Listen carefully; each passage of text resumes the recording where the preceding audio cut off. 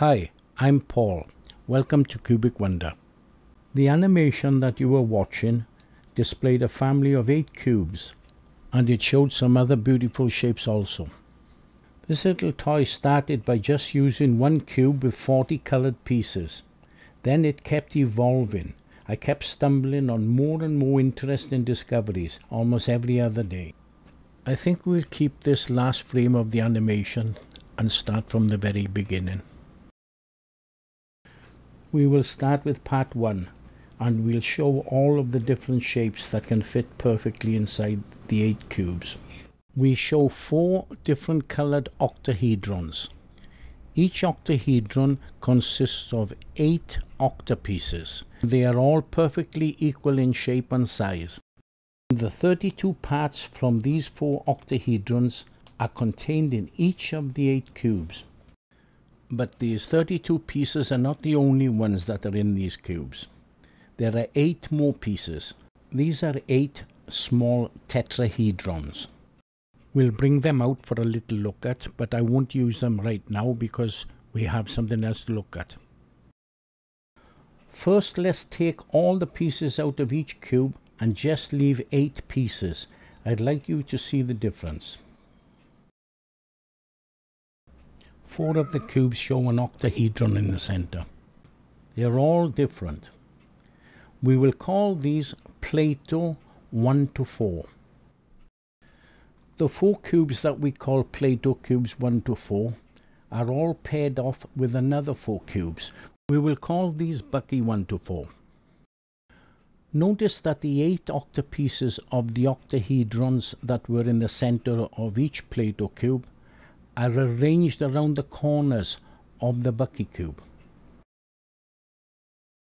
All the pieces of a Plato cube are rearranged in the Bucky cube as if everything is changed inside out, but the order is always kept the same, just like a sweater being worn inside out. Okay, now we can bring in the tetrahedron pieces. Let's start with four yellow tetra pieces first. Now we have a larger tetrahedron formed around the center octahedrons in the four Plato cubes. In the Bucky cubes, we have the opposite. The vertex points of the four tetra pieces all meet at the center point of each of these cubes. Okay, now we'll bring in the four purple tetra pieces for each cube. We don't need the corner pieces of the Bucky cubes anymore, so we'll take them away. Okay, let's check this out. Let's have a look at the four Plato cubes first. Inside each Plato cube, we now have what you call a dual tetrahedron.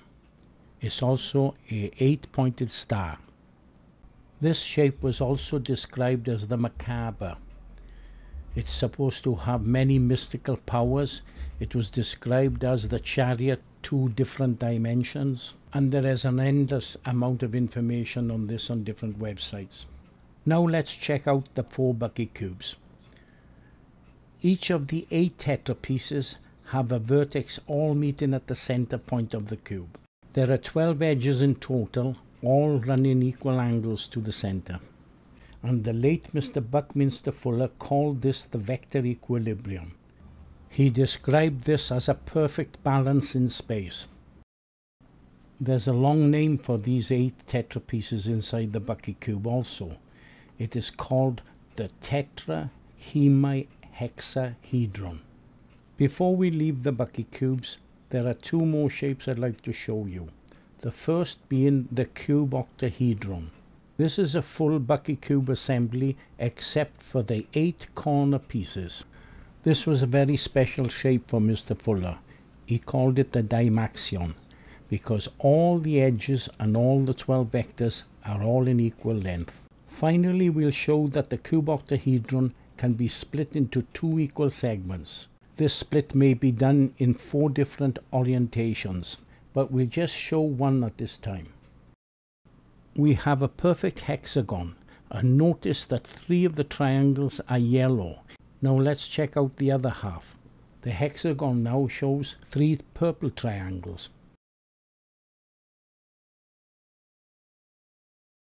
This brings us to the end of part 1. In part 2 I'm going to show you some more interesting things that I've discovered with this new toy. So please hang in there.